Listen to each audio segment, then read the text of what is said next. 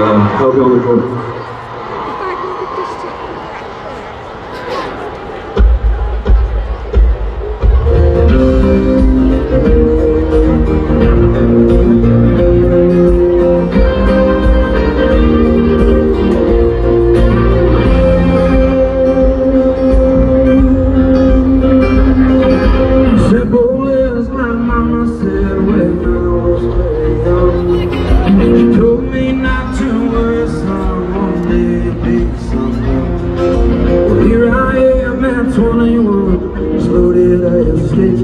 Stagecoach